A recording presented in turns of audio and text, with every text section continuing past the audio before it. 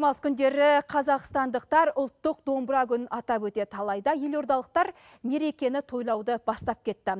Таңертеңнен өнерлі өрендер күйден шашу шашуда. 200-ден астам оқушы қолына келі аспапты ұстап балбырауын ерке сылқым адай сынды күйлерді шертіп елдегі өзге де өнерпаздарға челлендж жолдады. Сөйтіп міне кешке дейін елімізде екі жарым мыңнан астам оқушы челленджге қатысып үлгерді. Дана алиева жалғастырады. Нағыз қазақ қазақ емес, нағыз қазақ домбыра. Бүгін елордалық балақайлар осындай челлендж бастады. Дарынды өрендер шілденің алғашқы жексенбісі ұлттық мерекені қал қадірінше әспетте ұлықтайтынын көрсетсе керек. Шараның шымылдығын келіншек күйімен түрді.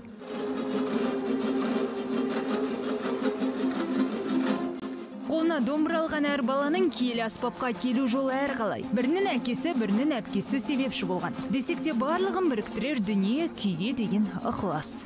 Домбыра өте жақсы аспап. Ол құдіретті аспап. Әдемі бір көңілді тоқтатын күйлерді жыла мысалы ол өлген адамды сонымен айтуға болады жылатып. Кейде сен достарыңмен отырған кезде мысалы мысалы оларды қуантып жіберу үшін кейде домбырамен өлең салып жүресің. Расында қуанышты да мұңды да домбырамен жеткізген халықпыз. Бүгінде бұл игі дәстүрдің қаймағы бұзылмай өскелең ұрпақ та қолына домбыраны алғаны қуантады дейді жиналғандар.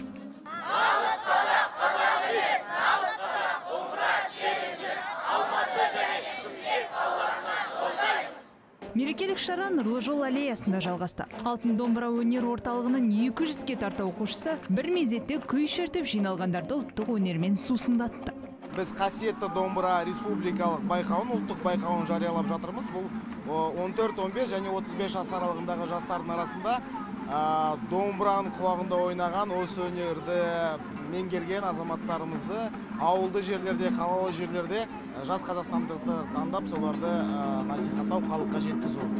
Күн білеген күйден бөлек елорда тұрғындары мен қала қонақтары үшін мерекеге орай домбыра патида домбыраға қатысты сұрақтар қойылды. Викторина жеңімпаздарына түрлі сыйлықтар берілді. Айтпақшы киелі аспап туралы білгіңіз келсе елордадағы ұлттық музейде ерекше көрме жұмыс істеп тұр. Онда байырғы заманғы және заманауи домбыра түрлері ұсынылған. Қазіргі мен өткеннің домбырасының басты ерекшелігі шегінде.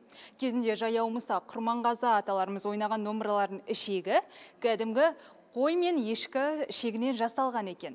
Мұндай аспаптардың дыбысы қоңыр үнге толы болған. Қазіргі шеберлер ішекті кәдімгі балық аулайтын қармақтың бауынан жасайды.